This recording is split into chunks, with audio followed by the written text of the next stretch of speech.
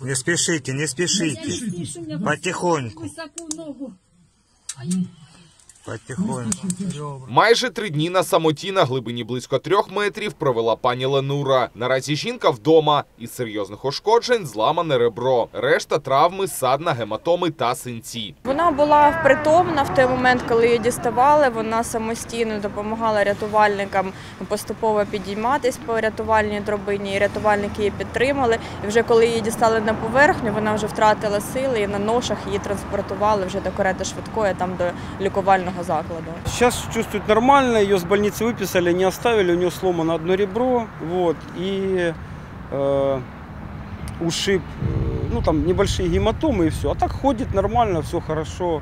Родичі били на сполох, звернулися до поліції. Самотужки шукали, але марно. Місцина, де Ленура пішла під землю, майже безлюдна, а телефону в жінки при собі не було. Тож вона три доби простояла в колекторі та кликала на допомогу. Она говорит, это благо то, что она зашла в АТБ, она купила сок небольшой и чипсы. И вот благодаря этому она немножко протянула. Но она была одета э, в рабочую одежду, я имею в виду, дубленка была, она, ну, на работе у нее лежит, и как бы ботинки, штаны, все, то есть она одевалась всегда, ну, как нормально, ну, как пенсионер, чтобы не замерзнуть. Она и стоя спала там, стояла, говорит, ну а что, вылезти точно не могу, потому что там почти 3,5 метра.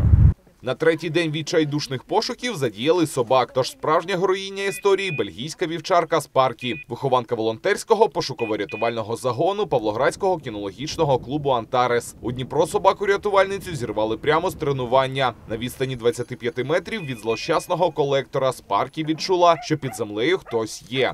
Она нашла эту точку и металась возле нее, показывая, что она чувствует запах, но нету локализации, то есть конкретно там человека нет. И когда я туда засунулась и голосом позвала, если кто живой, да, есть. Я здесь трое суток, помогите.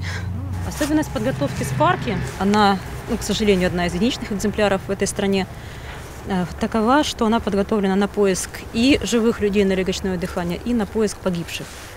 Даже погибших э, год, два, три назад. Пані Ленура розповідають рідні, все життя боялася собак. Тепер дуже вдячна вівчарці Спаркі. Родичі ж пенсіонерки сподіваються, що та надалі не забуватиме свій телефон вдома і краще дивитиметься під ноги. Крило Бережний, Андрій Сергієв. Новини 9 каналу.